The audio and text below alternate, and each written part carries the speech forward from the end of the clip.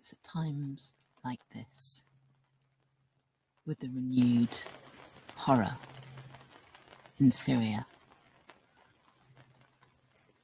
where our cheeks ache and our eyes burn and our guts clench, that we have a chance.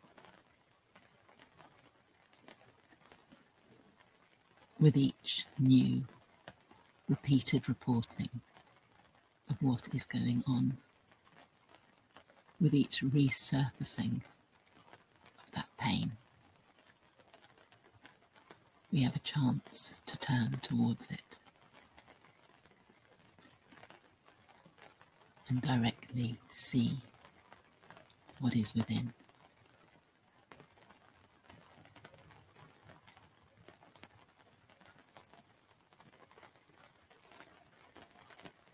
What is the kernel at the center of the seed of the pain?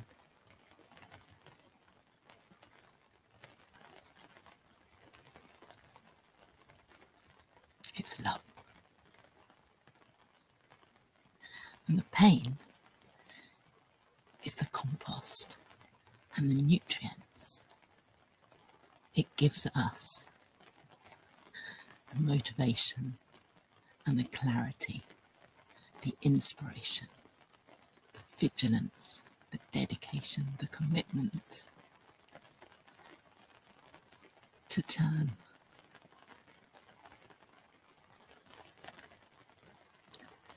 It squeezes us so tight that our focus become, become, be, can become like a laser beam. Normally, we move in these tight habitual circles of thought and of feeling, and we can pretty much exactly predict what is it that we're going to feel about something like what's going on in Syria.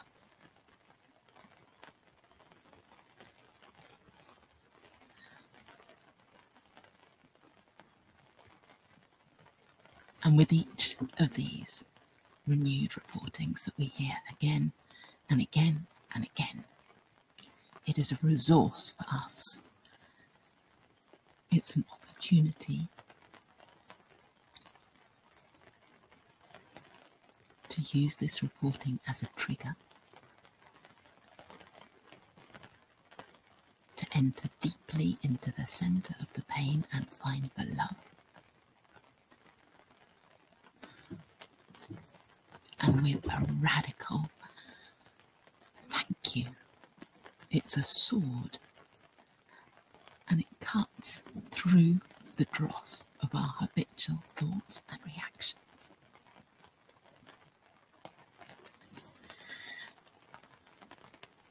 And it's radical because, in some way, it feels so wrong to say thank you for these horrors. And it's radical because it's a letting go of our habitual insistence on the thoughts and the feelings that we have about something like this. And, and as we let go, we open the door.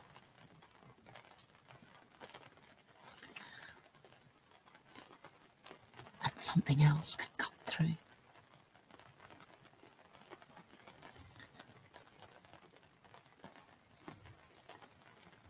It's radical. And it's real. And it takes us into another dimension. And it removes the debris and the dross of our habits. And it allows the power of the universe to flow through, to flow through us in our thoughts, in our actions, in our speech.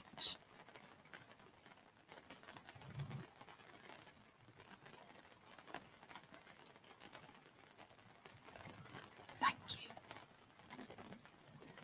Thank you. Thank you. And radical because it includes not only it, because it includes everything. It includes the victims and it includes the perpetrators. It gives thanks for the roles that all these people play. And it's radical because it includes us and our part, our responsibility of being a part of this whole life where we are also the victims and the perpetrators, where we also share.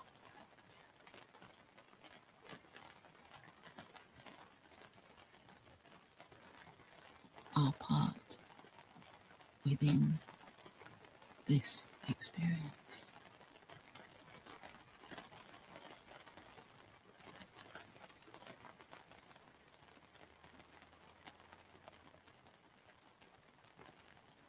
I made some notes that I'm just going to look at just to check. I said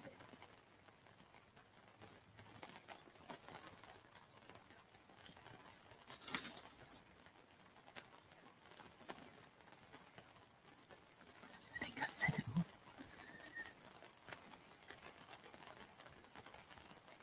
Thank you. Is a stepping out of the way and allowing, trusting in the wisdom that creates all life that flows so free and pure in the forest and in the stream and in the bird song. And it moves us out of the way with our habits of thoughts and feelings and allows it to flow through us too. It's a celebration of life beyond life.